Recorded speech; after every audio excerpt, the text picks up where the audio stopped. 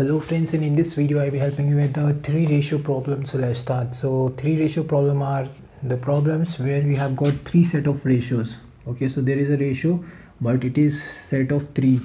Okay let's take an example as ratio of 1 is to 2 is to 3 you can call it uh, let's take an example as uh, green balls red balls and blue, blue balls.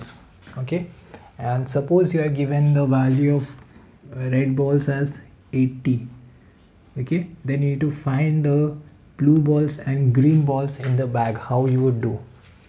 Okay? So i can write it as two parts.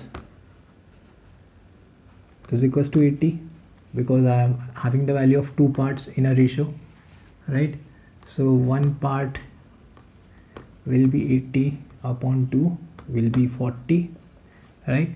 Now see from here we will find out. One part value is 40 right so for g uh, for g we have one part in the ratio right? So we can say 40 green balls.